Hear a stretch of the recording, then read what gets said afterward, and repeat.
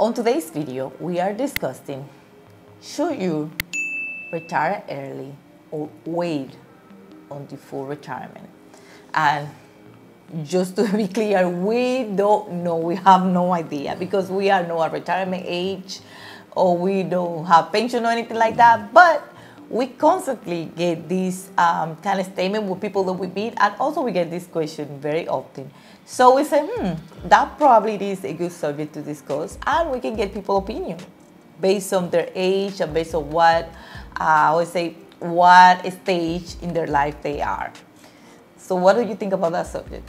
Um, like you say, man, I just want to be clear, full disclaimer. Like you said, I have no idea if a person should retire early or wait to full retirement because I think that's an individual decision and it's all based on a whole lot of other variables in that particular person's life. So we do get people that we've met who are close to early retirement and they would say, um, I want to move to DR, but you know, I got to wait till full retirement. And so we always would say, well, what's full, you know, because I really, you know, it changes, the, the age changes. Um, you know, used to be 59, then they move it to 62 and 67. So they just keep moving it around based on the life expectancy of um, human beings now. From what we know, early retirement now is at 62 and full retirement is at 67. That's old. Mm-hmm, that's a lot.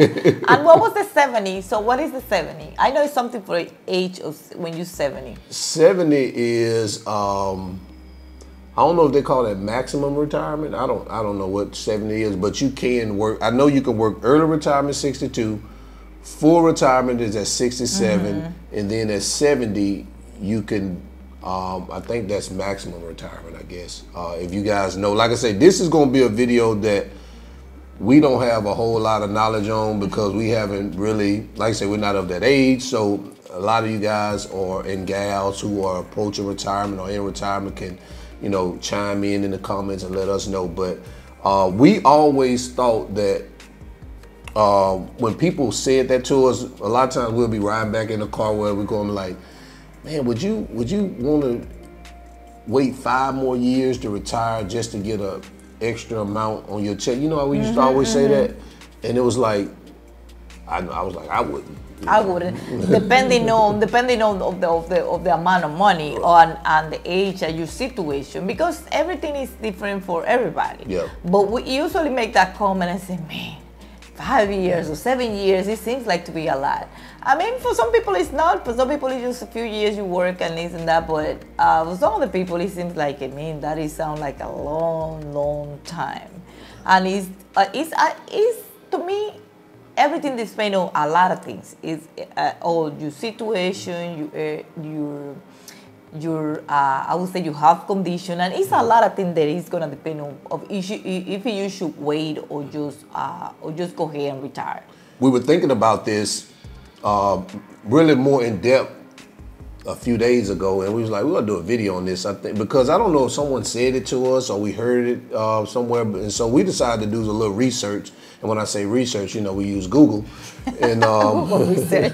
Google research. And so I wanted to know what the retirement age was mm-hmm. and what was the average amount and for the early retirement and full retirement and I guess the maximum retirement. And based on the information we received, the maximum initial amount average for early retirement was twenty seven hundred dollars. Mm-hmm, two thousand and seven hundred.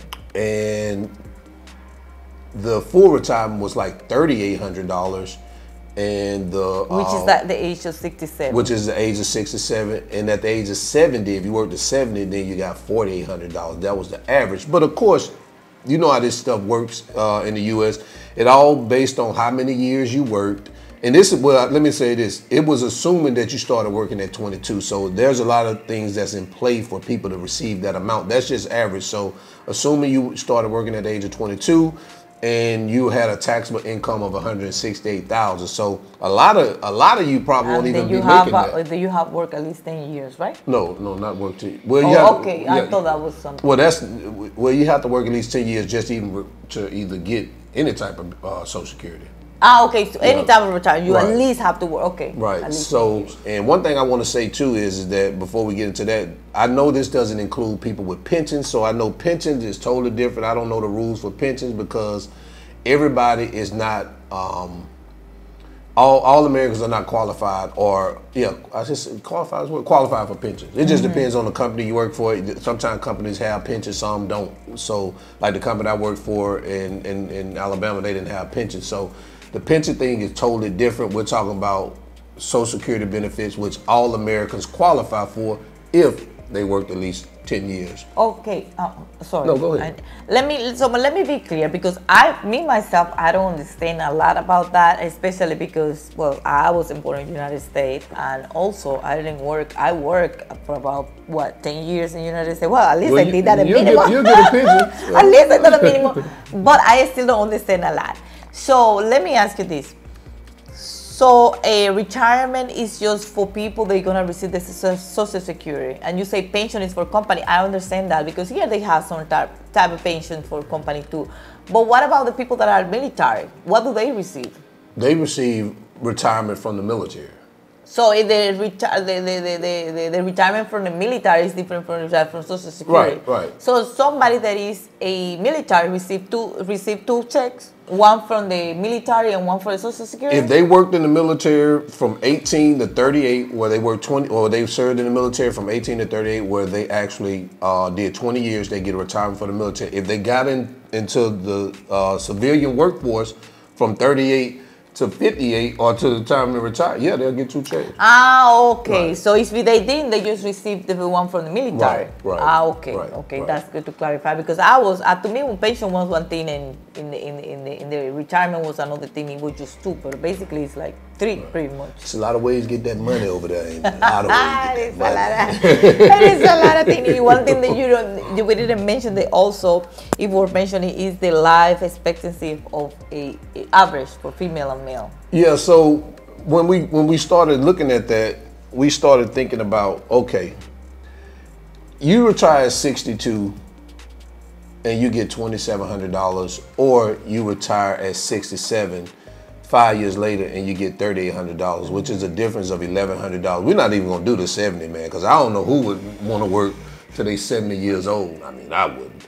But you're talking a difference between $1,100 a month retiring at uh, 62 versus retiring at 67. I'm just gonna give you my thoughts.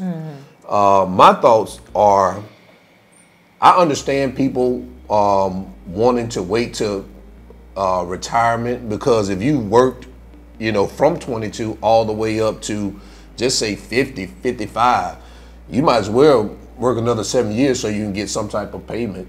Um, and not not saying that you won't get a payment. You could stop working at 55 and you just wait till you're able to withdraw your Social Security. But I still will just continue to work. But if if the if that was my case, I would rather figure out a way to earn eleven hundred dollars in the next from 62 and they say my life expectancy is 79 so which that is what like 17 more years? I would rather i would rather figure out how to earn an extra $1100 per month between 62 and 79 if that's my life expectancy than to work another five years just to get that extra $1100 because you just never know what can happen between 62 and 65 Mm-hmm. Mm-hmm. I agree. I agree, but like I said before, it's all gonna depend on a lot of things. Like this is my opinion too. I will do the same thing as you do instead of me working because I, I already, I, I think if you already at 62 working, you gotta be tired. Already tired and wishing Yeah, we tired things. yeah, we tired now. Can you imagine at 62? we even 60 But even 50 mm, if you were 62, you probably want to do other things. You want to be, some people have grandkids, they want to be enjoying with the grandkids, just traveling, go do other things beside working. And then wait for my five more years just to receive an extra 1100 it seems that we are like a long time, especially because we was discussing something about that anything can happen. I mean, it is okay to say five years is not a long time when you're young, when you're young and vibrant, and five years just go passing by like nothing. From 20 to 25. 20, 25, 25 to 30, 30 to 35, or even to 40, like you know that you're gonna be doing something during that time because you can just be at home in a couch just watching TV, even though some people do.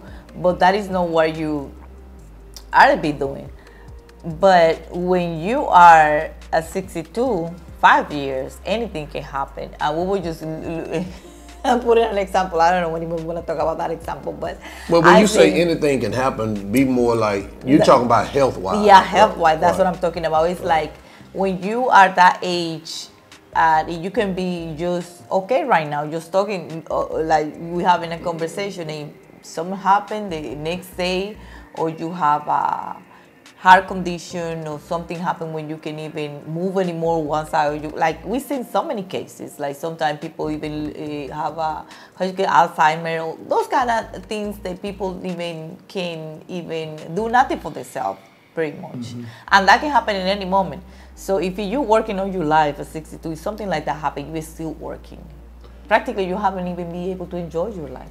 Right, and the, the thing is, is that, and we know all this stuff can happen before 62, but we're just we're talking about assuming, between, yeah, you know, assuming, assuming that, that you're already at that age. Right, that you're at that age, and it's like, I mean, even now, sometimes I wake up with a pain in my knee. Sometimes, you know what I'm saying? I'm not even that old, so just imagine being that age and the only reason that you really want to work till you're 65 or uh, 67 is because you want the money, which is understandable. But that's why you have to actually really do the math when it's time to um, start looking at whether you're ready to retire and where you're going to retire.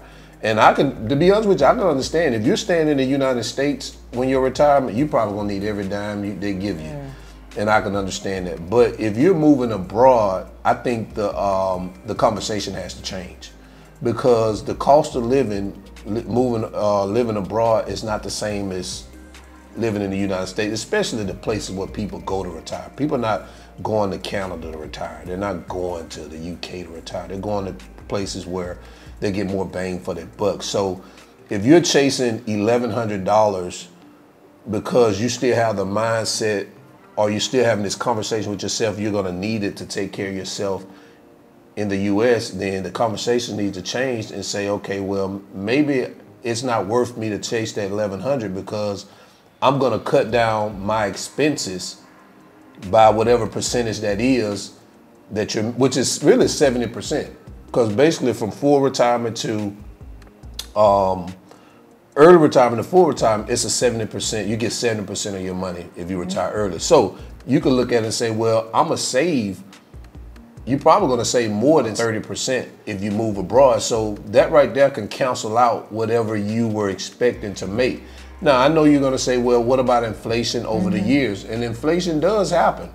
However, again, I would rather bet on inflation over the next, you know, 15 years of my life, if that's what it is, 15 to 17 years, at the same time figure out a way to make that or supplement that money that I'm missing than to wait five years to do six or seven or even work to 70. We've seen people that say they're going to work to 70. Mm-hmm. Yeah, some people mm-hmm. say that.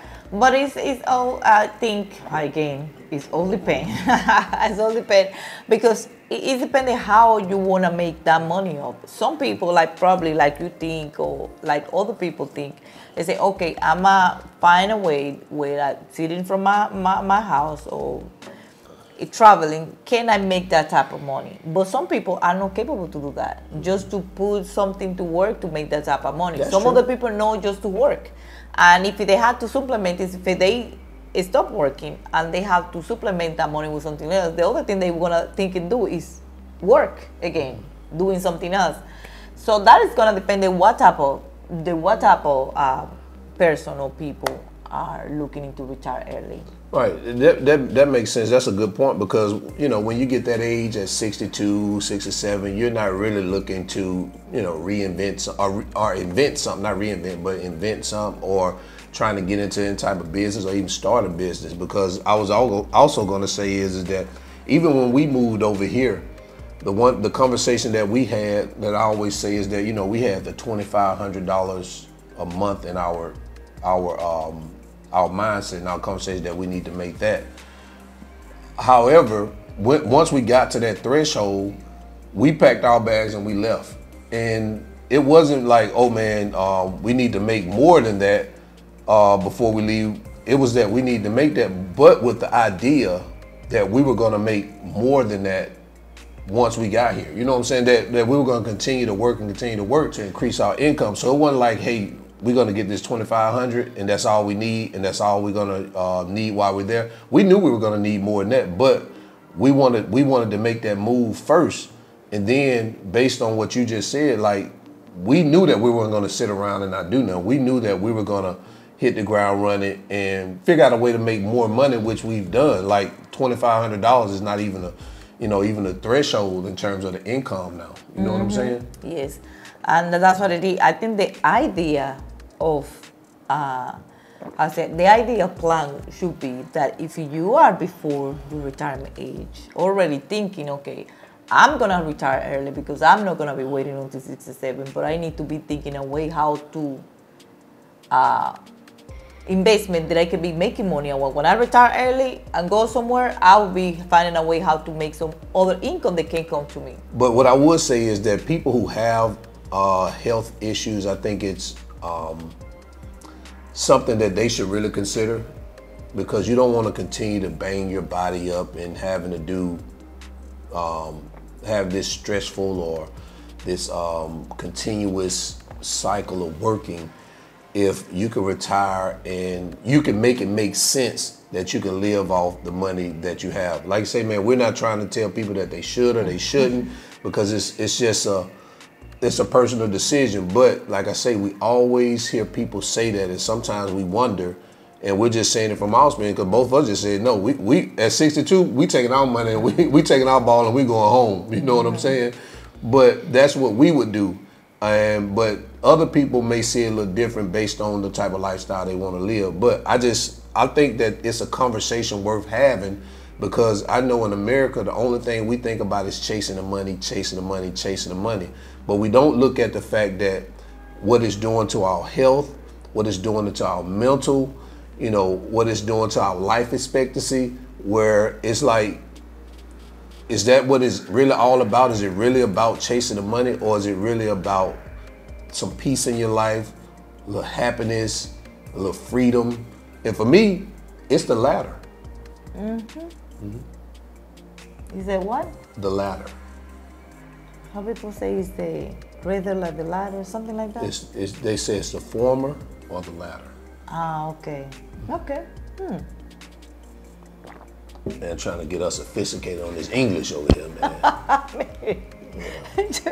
I mean, uh, try to I me learning some new vocabulary. Yeah. Mm-hmm. And you know the bad thing about it, about this whole thing, is that the age of the retirement age is going to continue to increase. I think now they're trying to push it to uh, 70, if I'm not mistaken. 70, I think they're trying to push the full retirement age to 70 now. That's backwards. I think it should be the other way around because now I think people are not lasting longer than before. I think people used to uh, how is it? That's how you say last longer. Live, live longer. Live longer. Yeah, like people used to live longer. Now people is like is, is, is, is dying faster just because of uh, the condition that we are living now and um, but you know stress that, and all that that's killing people. But you know that ain't the reason why they're doing that the they're re- doing it because they don't want to pay people. Th- that's exactly. The reason why they're pushing it back is because they see people living longer and they're even saying that social security is going to go bankrupt at some point where they're going to they're going to not have enough money to pay social security even when i think even when i i'm a, i'm even when it's time for me to withdraw that it won't even be available Really? So people are living longer now? I thought that people was living longer before. No, no, people are living. No, people are living longer before. Not in America. You know what I, I mean? I mean, we, I've seen you know people over in Japan living to 110 and places like that. But in America, uh, people are living are living longer now. And early, like my my grandmama, she died. I think she was 55. Oh, oh, I see what you're You saying know, now. she you know she died when she was 55, and I mean she even looked old.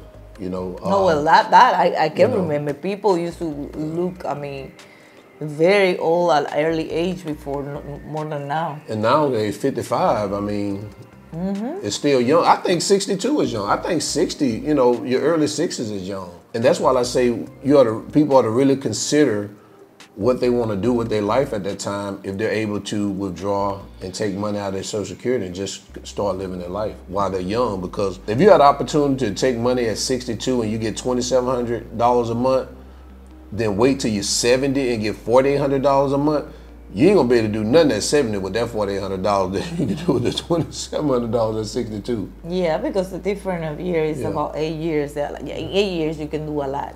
Right.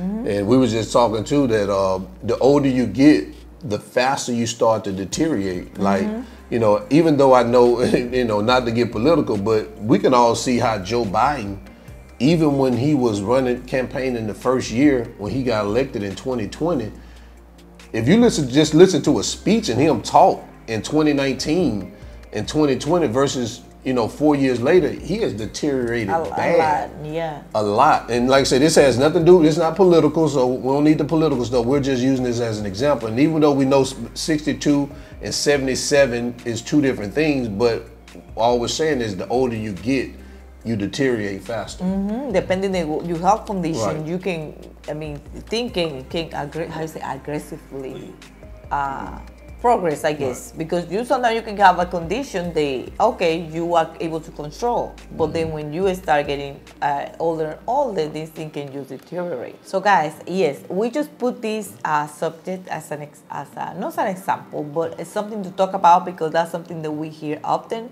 And we don't know, we don't know, we don't know anything about this. We just, it was something that we want to just talk about it because we hear it often, like I said. And we want to, don't hear it from us because we don't know. I want to hear it from you. So you let us know, will you retire at 62? Will you wait until 67? Or will you wait until 70 just to receive the full, full, full 4,800? Hey, if you wait to 70, anybody saying they're gonna wait to 70, y'all need to come talk to me. you better be So, let it know in the comment section below. And this is what we have right now. Thank you for watching this video. Don't forget to like, comment, and subscribe, and also share. And we will see you in our next one. Bye. Peace.